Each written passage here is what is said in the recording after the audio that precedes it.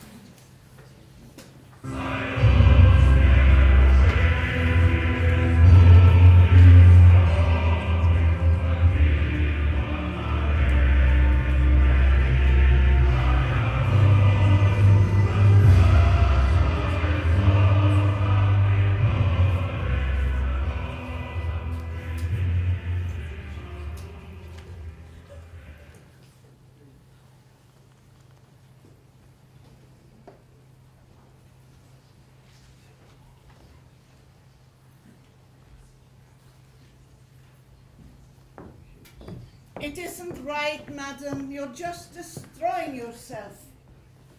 Luca and the maid have got the, the maid and the cook have gone off fruit picking. Every living being is enjo- rejoicing. Only you sit here in this room all day as though it was a convent and take no pleasure. And if I'm right, it's a whole year and you haven't left this. I shall never go out. Why should I? My life is already at an end. He is in his grave and I have buried myself within these four walls. We are both dead.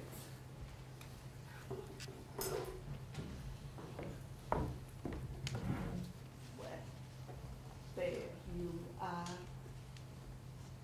Nikolai Mikhailovich is dead. It is the will of God, and may his soul rest in peace.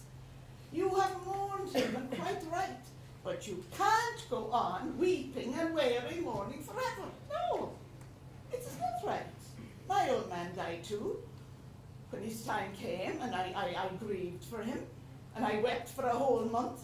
But if you expect me to go on and weep for, for a whole age, no, no, it is not. You have forgotten all your neighbors. You don't go anywhere, you see nobody. We are like spiders forever in the dark. No, this is not right.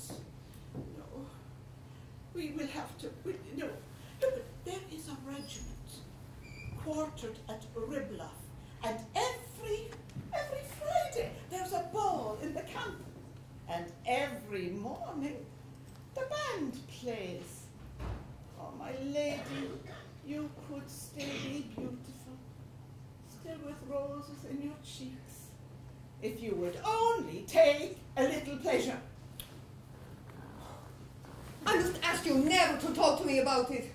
You know that when Nikolai Mikhailovich died, life lost all meaning for me. I swore never to the end of my days to cease to wear mourning or see the light. You hear? Let his ghost see how well I love him. Yes, I know it's no secret to you that he was cruel to me, unfair and and even unfaithful. But I shall be true till death and show him how I can love. There, beyond the grave, he will see me as I was before his death. Instead of talking like that, why don't you go outside for a walk in the garden? Or order Toby or Giant to be harnessed, and then you could drive out and see the neighbors. Oh, Oh, my lady, what is it? What is it? Oh, bless you. He was so fond of Toby. He always used to ride him out to the Vaslovs and the Castigans. Do you remember how well he could ride? What grace there was in his figure when he pulled on the reins with all his strength. Do you remember? Toby. Toby. Tell them to give him an extra feed of oats. Yes, madam. Who's that? Tell them I receive nobody. Yes, yes, madam. You see, Nikolai, how I can love and forgive. My love will die out with me only when this poor heart will cease to beat. And aren't you ashamed? I am a good and virtuous little wife. I have locked myself in and will be true to you till the grave, and you? Aren't you ashamed, you bad child? You deceived me, and roused with me, left me alone, and Madam, somebody is asking for you. He wants to see you. didn't you tell him since the death of my husband I do not receive? I told him, but he wouldn't listen. Said it is a very pressing affair. I do not receive. I, I told him, but the devil he curses and pushes himself in. He's in the dining room now. Very well then, ask him eh? in. What manners! How these people annoy me. What does he want with me? Why should he disturb my peace? I see now I shall I shall have to go into a convent. Yes, convent. You fool. You talk too much. Ass. Madame, may I have the honor to present myself? I am Grigory Stepanovich Smirnov, landowner and retired lieutenant of artillery. I am compelled to disturb you in a very pressing affair. What do you want? Your late husband, with whom I have the honor of being acquainted, died in my debt for 1,200 roubles on two bills of exchange. As I have to pay the interest on my mortgage tomorrow, I've come to ask you, madame, to pay me the money today. One thousand two hundred and what was my husband in debt to you for? He used to buy oats from me. Luca, make sure that Toby gets the extra feed of oats. Yes. If Nikolai Mikhailovich died in debt to you, then I shall certainly pay you. But you must excuse me today as I haven't any spare cash. The day after tomorrow, my steward will return from town and I'll give him instructions to settle your account. But at the moment I cannot do as you wish. Moreover, it is exactly seven months today since the death of my husband and I am in a state of mind which prevents me from giving money matters my attention. Now, madame, I am in a state of mind which, if I don't pay the interest on my mortgage tomorrow, shall force me to exit this world gracefully feet first. They'll take my estate. You'll have your money the day after tomorrow. I don't want it the day after tomorrow. I want it today. You must excuse me. I can't pay you. And I cannot wait until the day after tomorrow. And what can I do if I don't have the money now? You mean you won't pay me? I can't. Is that your last word? Yes, the last word. Absolutely your last. Absolutely. Thank you very much. I'll make a note. And then people want me to stay there. I meet a man on the road and he asks me, Why are you always so angry, Grigory Stepanovich? How on earth am I not to get angry? I am in desperate need of my money. Yesterday morning I tackle my horse and I ride out there and I call up all my debtors and not a single one of them paid. At the end of it all, I am dead beaten, spent the night goodness knows where in some tavern known by a Jew. At last I travel here, 70 versts from home, and get here looking for something. And I am received by you in a state of mind. How shouldn't I get angry? Sir, I distinctly told you my steward will pay you when he returns from town. I didn't come to you, steward, madame, but to you. Devil take it, pardon me for saying so, would I want with your steward. Excuse me, sir. I am unaccustomed to such expressions or such tone of voice. I will hear no more. A state of mind. Her husband is dead seven. Have I to pay the interest on my mortgage or not? I ask you, have I to pay or have I not? Suppose your husband is dead and you were in a state of mind of some such nonsense. And your steward's gone away, devil take him God knows where. What do you want me to do? Do you want that I should fly away in a balloon from my creditors? Or run my head in against the wall? I called the ship, he is not at home. Yaroshevich, he goes into hiding when he hears me coming. I have a terrible with Kirsten, and then he throw him out the window. Mazuma has something wrong with his balls. and this woman, this, she has a state of mind. Not one of the swine wants to pay me. And it is all because I am too gentle. I am just a little rag, weak wax in their hands. I had gentle. But just you wait. They shall see what I'm really like. They're not going to get around me like that. I'm going to stay until I get my money. Oh, I am angry. I'm so angry. My, my whole insides are quivering. I, I can't even breathe. I, I even feel sick. Meg, Meg.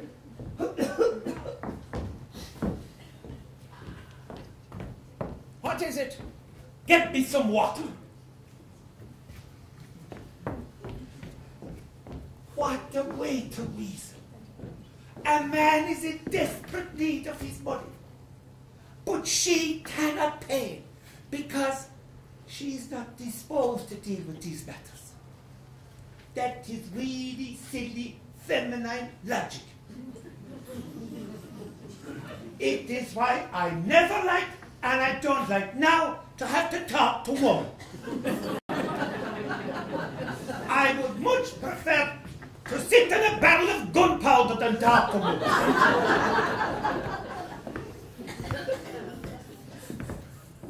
oh, it's chilly. It's chilly. And it's all on account of that little piece of fluff. I cannot look at one of those poetic creatures, even from a distance, without breaking out into a cold sweat of anger. Oh, I can't even look.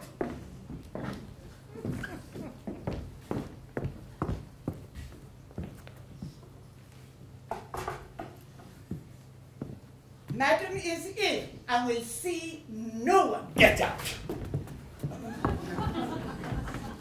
In and will see nobody. No, it's all right she don't see me. I am going to stay until I get my money. She can be in for a week if she likes. She can be in for the year. I'll stay here for the year. Confounded, I am going to get my money. She's not going to get around me with her, with her widow's weeds and her dimpled cheeks. I know those dimples.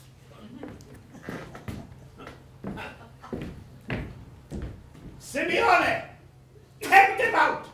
We're going nowhere. I'll stay here and tell the men in the stables to give those horses more. Is bad. The heat's frightful. No one pays me. I slept badly, and here is a piece of fluff in mourning with a state of mind. oh, my head hurts. Oh, that vodka bottle, my head hurts. I think I'll have a vodka. Yes, I should have a fight. Meg, Meg! What is it? Get me some vodka.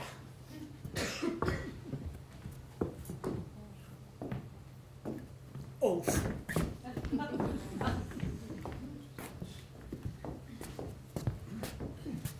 I, I must say, I look well. Little bit unkempt. There's the cloak. And in boots. Maybe the lady took me for a brigand. Hmm. I am sure 'tis rather impolite to enter into the drawing room dressed in this state, but I am not here as a visitor. I am here as a creditor, and I am sure there is no prescribed dress code for creditors.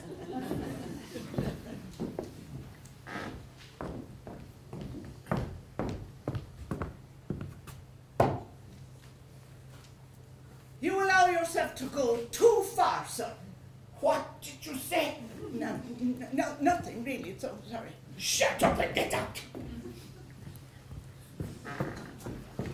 Devil's come to stay.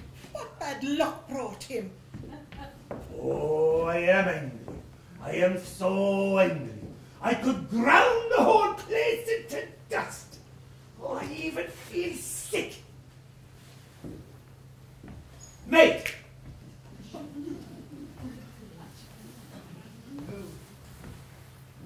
Sir, in my solitude I become accustomed to the masculine voice, and I can't stand shouting. I must ask you not to disturb my peace. pay me my money and I go. I told you perfectly plainly, I don't have any money to spare. Wait until the day after tomorrow. And I tell you perfectly plainly, if you don't pay me the money today, I hang myself from a rope tomorrow. I don't have the money. You're so strange. You mean you won't pay me? I can't. Well, you're going to pay me the day after tomorrow. I shall sit right here until the day after tomorrow. Right here.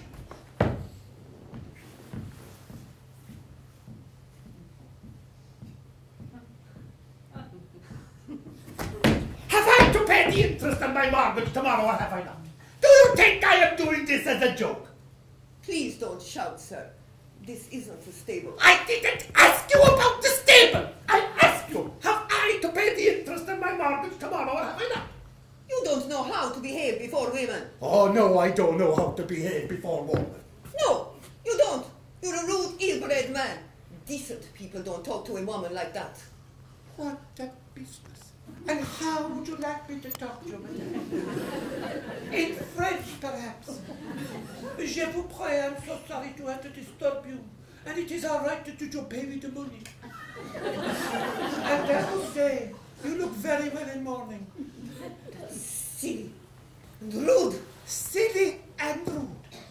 I don't know how to behave before one. Madame, I shall tell you, I have seen more women than you've seen sparrows. Three duels I have fought on account of the woman. Twelve women I have refused. Eight women refused me. yes, there was the time when I played the fool, scented myself and used honeyed words, wore beautiful bracelets and made fancy balls. I used to laugh, to sigh at the moon, to taw, to freeze. I used to love madly, passionately, every blessed way devil take me. I could chatter like a magpie about emancipation. Half my fortune I wasted on tender feelings. But now you must excuse me. You don't get around me like that anymore. I've had enough. Black eyes, passionate eyes, ruby lips, dimpled cheeks, moon whispering, timid breathing. I wouldn't give a brass farthing for the lot of them. All women, present company excepted, great or small, are vain, trivial, insincere, liars to the marrow of their bones. They're unforgiving, unkind, unloving. Confounded. Hang me by that hook up their feet first. But have you ever known a woman who could love anybody other than a lapdog? When a woman is in love, all she can do is snivel and blabber. While the man is in love, he makes sacrifices. When the woman expresses her love through fancy bows and tries to hook him more firmly by the nose. you have the misfortune to be a woman. You know yourself what is the nature of the woman. Have you ever known a woman who was faithful and constant? No, you haven't. Only, only, only all women and freaks are faithful and constant. You'd meet a cat with a horn and a white woodcock sooner than you'd meet a constant woman. So, according to you, who is faithful and constant? It is the man. Yes, the man. Men are faithful and constant. What an idea. How dare you talk to me like that? Men are faithful and constant. While we are talking about it, I tell you of all the men I knew and know, the best was my late husband. I loved him passionately, with all of my being, as only a young and imaginative woman can love. I gave him my youth, my life, my happiness, my fortune. I breathed him in. I gave him all, all that I had. And despite all this, I was true to him. I gave him all, all that I had. But after his death, I found in his desk a whole drawer full of love letters. And while he was alive, oh, it is so hard to remember. He would leave me alone for weeks on end, make love to other women, betray me before my very eyes. He wasted my money and made fun of my feelings.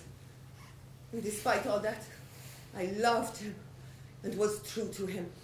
And now that he is dead, I am still true and constant to his memory.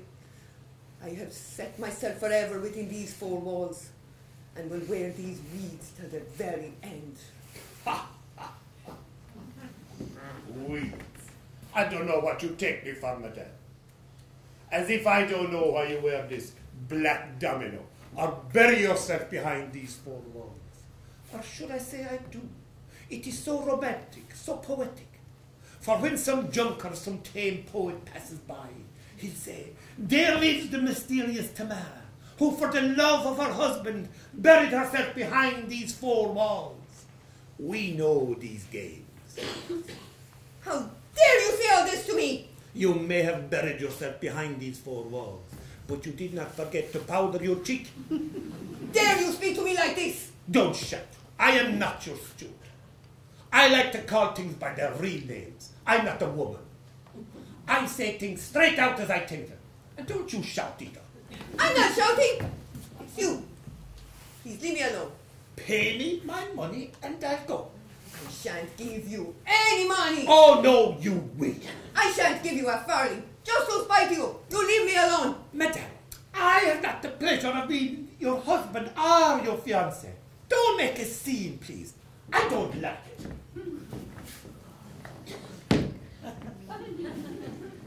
So, you sit down. I do. I asked you to go. Pay me my money. Oh, I am, I am so. I don't talk to impudent scoundrels. I asked you to go. Aren't you going? No? No, No? no. Very well then.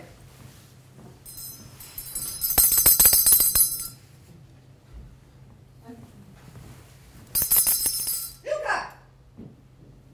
Luca!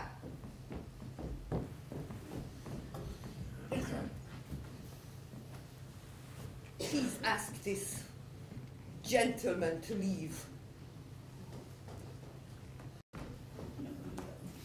Would you mind leaving, sir, as you have been asked? Yep. Shut up, I'll chop you into little pieces. Oh, oh, the fathers of people.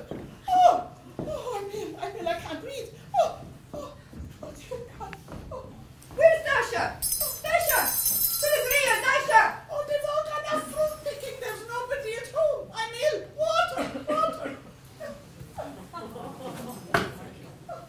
Get out of this now! Can't you be more polite? You're a boar, a coarse bear, a bourbon, a monster! What? What did you just say? I said you were a bear, a monster! What right have you to insult me like that? And suppose I am insulting you. Do you think I'm afraid of you? And do you think you can insult me with impunity, eh? We'll fight it out! Holy Father. Oh, water, water. Pistols! Do you think I'm afraid of you because you have big fists and a bull's throat? I am not going to be insulted by anybody. Beer! I don't care if you're one of the softest. Beer! It is about time we put an end to this prejudice that only men have to pay for their insults. You want equality, you'll get it. We'll fight it out. With pistols, very well. Very minute. This very minute. My husband had some pistols. I'll bring them here.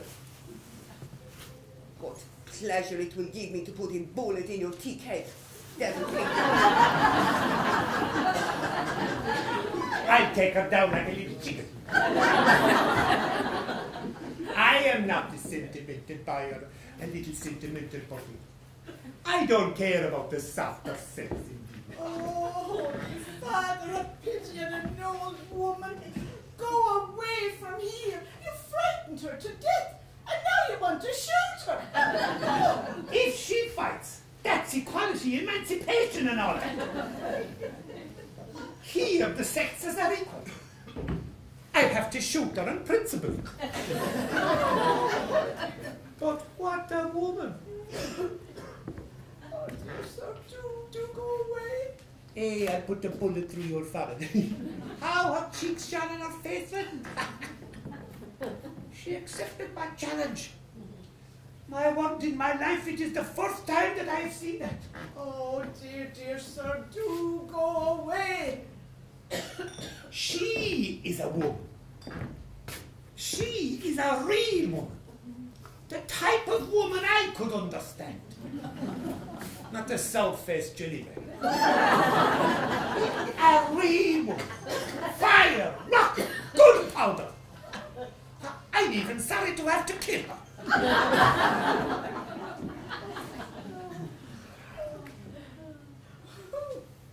I absolutely like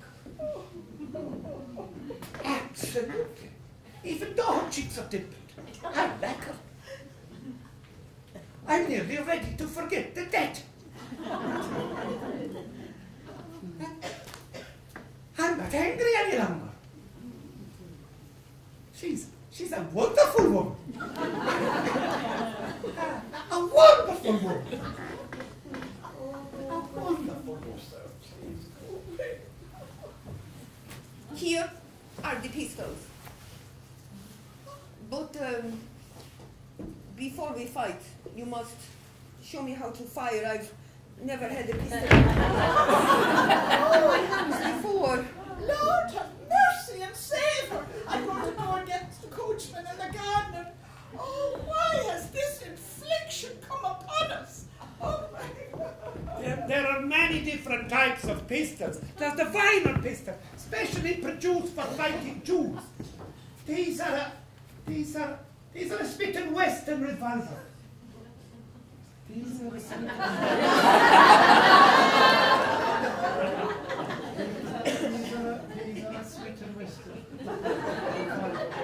They, can cost less than 84 percent. Hold, the gun like this. The eyes, the eyes. What an inspiring woman. Like this? Yes, like this. Hold your hand out straight. Cock the trigger back. Tilt your head to the side. Take aim like this. Then you squeeze this little thing with your finger. It's as simple as that. The good thing is to keep cool. And try not to jerk your head.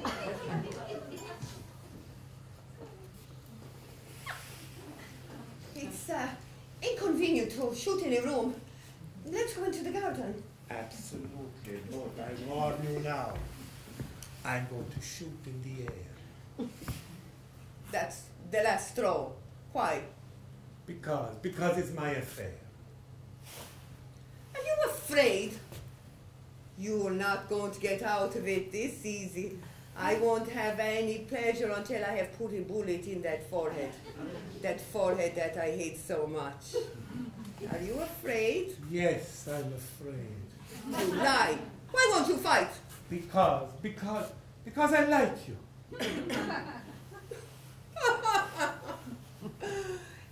likes me. He dares to say he likes me. That's the way.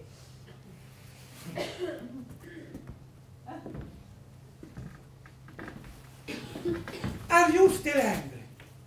I, I, I'm, I'm annoyed.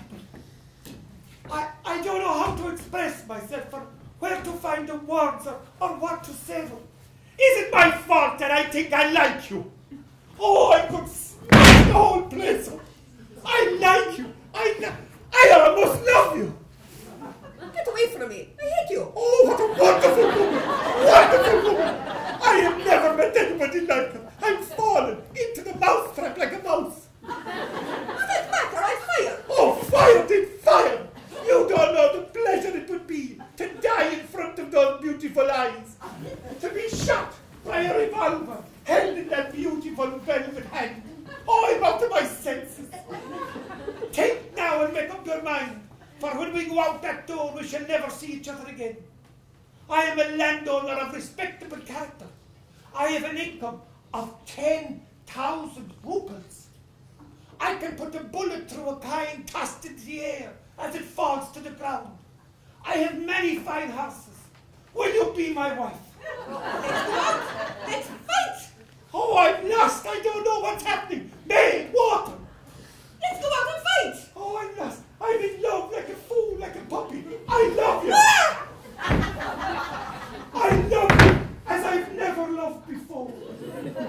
12 women I have refused. Nine women refused me. But I never loved any of them like I love you now. I'm weak, I'm wax, I'm melted. I'm like a fool on my knees, offering you my hand. Oh, shame, shame. I haven't loved a woman in 15 years. I made a vow, but now all of a sudden I'm in love like a fool. I'm like a fish out of water, offering you my hand, Yes or no?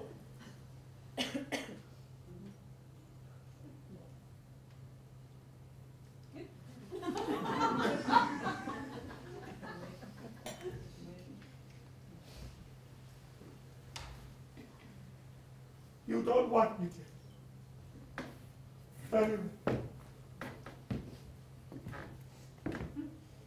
Stop. Yes?